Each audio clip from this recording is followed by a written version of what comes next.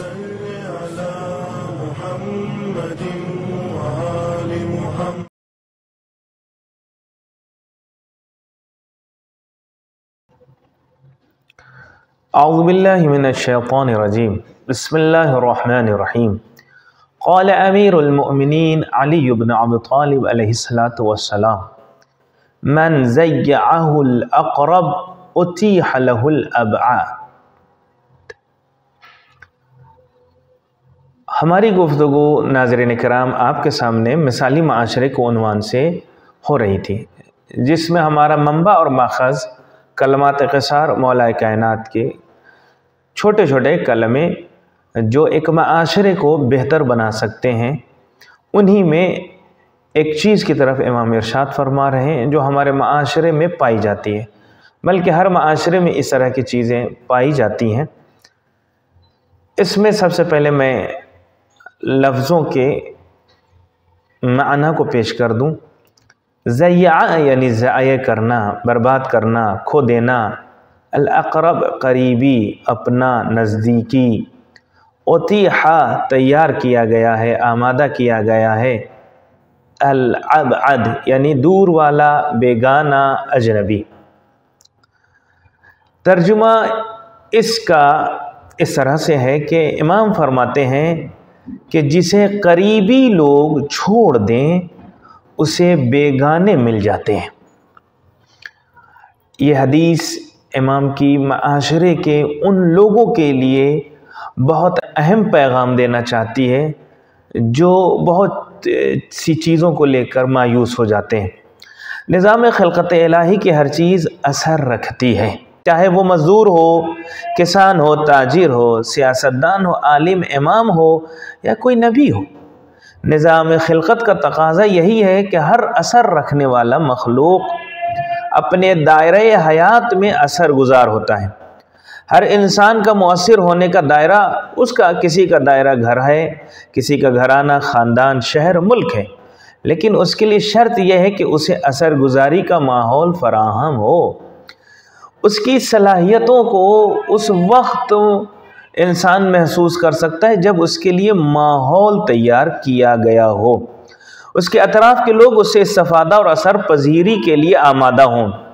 अगर वो लोग उसे तनहा छोड़ दें, उसे असर दिखाने न दें तो फिर वो कौम उस शख्स के असर गुजारी को मुशाह नहीं कर सकती। ऐसे में सही है कि वो शख्स तनहा होकर रह जाता है। लेकिन याद रहे अगर कोई बासलाहियत शख्स उसका सही इस्तेमाल, सही फ़ायदा कौम, ख़ानदान, घर, कबीले वाले अगर न उठाएँ तो अल्लाह उसे तन्हा नहीं छोड़ता। अल्लाह उसका मददगार है, साथी है। तो खुदा उसके लिए ऐसे लोग, ऐसी कौम और ऐसे माहौल फराहम करता है, जिसमें वो जाकर अपनी सलाहियतों का सही असर दिखा सकें। और वो कौम ज़्यादा से ज़्यादा उसका फ़ायदा उठा सके। अमीर अलमोमिन अली इबन अबी तालिब इस कलाम में इसी मतलब की तरफ़ इशारा करना चाहते हैं कि अगर किसी को उसके करीब वाले, यानी घर वाले, ख़ानदान, मोहल्ला और मुल्क और दोस्त वग़ैरह अगर उसको तन्हा छोड़ दें तो उसे नाउम्मीद नहीं होना चाहिए, क्योंकि उसका खुदा उसे तन्हा नहीं छोड़ता। इसी तरह उन लोगों को भी ये समझ लेना चाहिए जिन्होंने उसे तनहा छोड़ा है।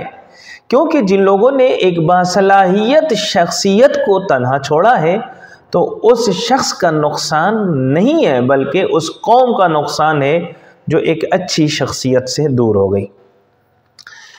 इस हदीस की इजतमाही तफसीर इजतमाही तफसीर में दो पहलू हैं।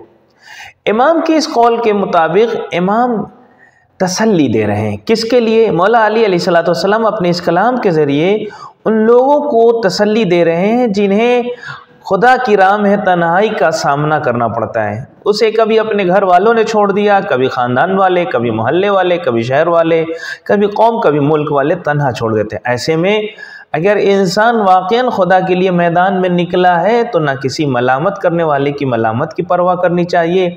और न किसी तन्हा छोड़ने वाले की तन्हाई से घबराना चाहिए। क्योंकि ऐसे बंदों के लिए खुदा खुद ही बंदोबस्त करता है।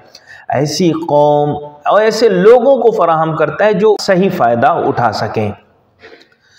आप इसकी मिसाल देख सकते हैं मक्का के पुरआशो फ़िज़ा में रसूल खुदा सल्लल्लाहु अलैहि वसल्लम जब अल्लाह की राह में निकले, दीन का पैगाम लेकर आए तो ख़ानदान के चचा अबू लहब जानी दुश्मन हो गया। कौम वाले होते हुए कुरैश रसूल खुदा की मुखालफत पे उतर गए। हम शहरी होते हुए मक्का के लोग रसूल खुदा की जान के दर पे हो गए। बिलाखिर अल्लाह के रसूल को अपनी जान हथेली पे लेकर मक्का से बाहर जाना पड़ा। जब करीबी इस तरह से बेरखुद दिखाते हैं तो ऐसे में अल्लाह अपने बंदे का मददगार बन जाता है। अल्लाह अपने बंदे को तनहा नहीं छोड़ता। तो अल्लाह ऐसे लोगों को उनका हामी और मददगार बनाता है जो ना आपके ख़ानदान के होते हैं, न मज़हब के, न कौम कबीले वाले, न शहर वाले, न आपके मज़हब वाले। बल्कि हर लिहाज से आपसे बहुत दूर का भी वास्ता नहीं रखते हैं। जब ये लोग आपकी हमायत के लिए एक हो गए तो रसूल खुदा के लिए अल्लाह ने क्या किया? ओवैस व खजरज, जो आपस में ख़ानदानी दुश्मनी में मुलविस थे, मगर रसूल की हिमायत में दोनों रसूल के बेहतरीन मददगार बन गए। यानी अल्लाह का इंतज़ाम ये था कि जब एक बासलाहियत शख्सियत का उसके घर वाले उसके महल्ले और शहर वाले अगर उसका सही इस्तेमाल और फ़ायदा ना उठाएँ, सही उससे असर न लें तो अल्लाह उनके लिए दूसरा माहौल फराहम करता है। और दूसरा पहलू इसी इज्तमाही तफसीर में यह है कि याद रहे, गैर मामूली सलाहियतों का बर्बाद करना, ज़ाया करना, ये असल में रसूल खुदा को किसी चीज़ की कमी नहीं हुई। रसूल जहाँ गए, वहाँ उन्होंने हर चीज़ में हरियाली लाई। इसमें नुकसान मक्के वालों का हुआ, ना कि रसूल का। अगर ये करीबी लोग, ये महल्ले वाले लोग और शहर के लोग रसूल का इस्तकबाल करते, रसूल की आवाज़ पे लब्बैक कहते तो जो मदीने वालों ने अल्लाह की नेमत और अल्लाह के फजल करम को समझा, वो सबसे पहले मक्के वाले, ख़ानदान वाले और ख़ानदान क़ुरैश वाले और चाहने वाले ये पा सकते थे। तो दूसरा पहलू ये है कि कभी भी इस बासलाहियत शख्सियत का नुकसान नहीं होता, बल्कि जो लोग उसे तनहा छोड़ते हैं, उनका नुकसान होता है। इसलिए कि बासलाहियत और टैलेंटेड लोगों को जब भी, और ये हमारे माशरे में भी आप देख सकते हैं, जब हमारी हुकूमत, हमारे मुल्क की हुकूमत अगर अपने पढ़े लिखे समझदार और टैलेंटेड लोगों की सलाहियतों का सही फ़ायदा नहीं उठाती तो क्या होता है? यही बच्चे, यही पढ़े लिखे लोग अमेरिका चले जाते हैं और दूसरी जगह की हुकूमत हमारे टैलेंटेड लोगों के ज़रिए चलती हैं और अपने मुल्क में उनकी कोई कदर कीमत नहीं होती। अगर इस हदीस पर गौर फ़िक्र किया जाए तो ये लम्हे फ़िक्रिया है। इमाम किस चीज़ की तरफ़ इशारा कर रहे हैं? इमाम का इशारा ये है, रसूल खुदा का नुकसान नहीं हुआ। मक्का वालों का नुकसान हुआ, करीबी रिश्तेदारों का नुकसान हुआ, ख़ानदान वालों का नुकसान हुआ कि अगर यही ख़ानदान वाले, मक्का वाले करीबी रिश्तेदार अगर रसूल का इस्तबाल कर लेते, रसूल को समझ लेते तो जो नमत इलाही मदीने वालों पर नाजिल हुई, वो मक्के वाले को सबसे पहले मिलती। उसी तरह आज तेरह रजब है ना? तेरह रजब मौलाए कायनात की विलादत का दिन है ना? मौलाए कायनात दुनिया में आए। सबसे पहले मैं आपकी खिदमत में मुबारकबादी पेश करता हूँ। मगर मैं आपसे एक सवाल करना चाहता हूँ। मौला इस हदीस में इरशाद फरमा रहे हैं, जिसे अपने लोग जिसे छोड़ दें तो अल्लाह उसके लिए एक माहौल ऐसा बनाएगा कि गैर उसे अपना लें। हम आपसे सवाल करना चाहते हैं, हम अपने अली को कितना जानते हैं? हम अपने मौला से कितना करीब हैं? हम अपनी मौला की कितनी बातों को समझते हैं? क्या हमने मौला की किताब नहजुल बलागा को कभी पढ़ी? और पढ़ी तो कितना समझी? और जब समझी तो कितना अमल किया? ये हमारा सवाल है। और ये वाक़ बहुत अजीब है। जब उस्ताद मोहम्मद दश्ती नहजुल बलागा के बेहतरीन, ज़्यादा से ज़्यादा काम करने वालों में जिनका नाम लिया जाता है, उसमें से उस्ताद मोहम्मद दश्ती का नाम है।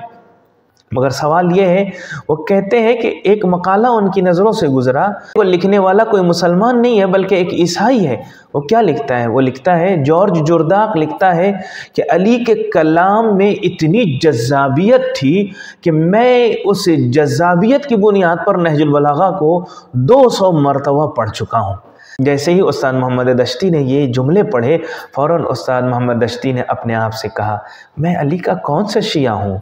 मैं कौन सा ख़ानदानी अली का चाहने वाला हूँ? मैं कितना अली को जानता हूँ? एक ईसाई मज़हब का अली के कलाम से इतना शौक़ रखता है, अली के कलाम को इतना समझता है कि वो 200 मरतबा पढ़ रहा है।